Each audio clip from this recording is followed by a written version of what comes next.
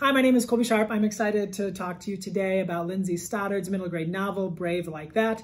This is the story of a boy named Cyrus uh, who lives with his adopted father and his, her, his father is a firefighter and a legend in this town, like a football legend. When Cyrus was a baby, he was dropped off at the fire station and the firefighters all rushed him to the hospital and Cyrus's dad ended up adopting him and Cyrus's dad is amazing, an amazing person.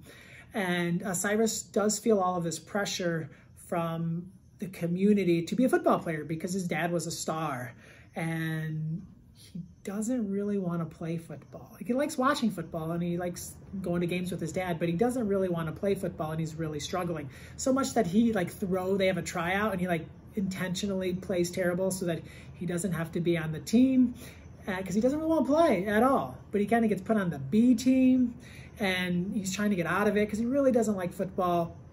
And for me, what a great storyline to have in a book.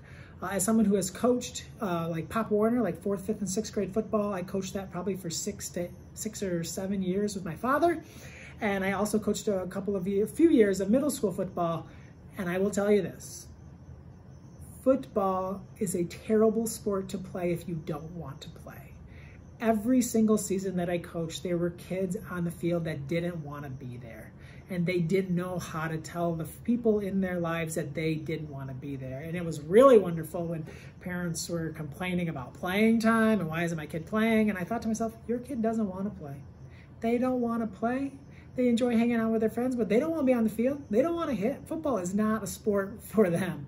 But I had to kind of be much more delicate in that. And I'm hoping that kids that feel like that, those kids that don't want to play football or basketball or baseball or be in the band, kids who are kind of being pushed into things that they don't want to be a part of. I hope that this book gives them some ideas of how to handle that. I hope it helps them to see that they are not alone.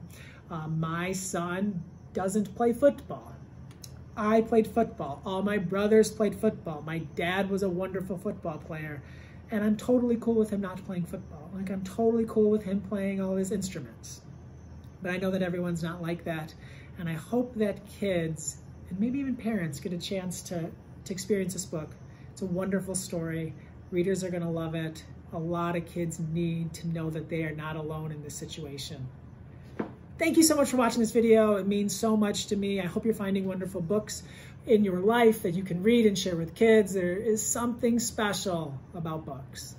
Have a wonderful day and happy, happy.